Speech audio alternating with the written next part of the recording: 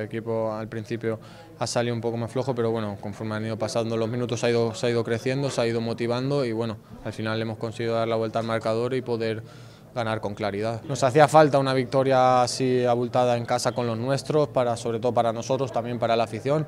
Y como digo, esto es un punto de inflexión para nosotros porque significa que este equipo nunca se rinde y que puede hacer cosas grandes.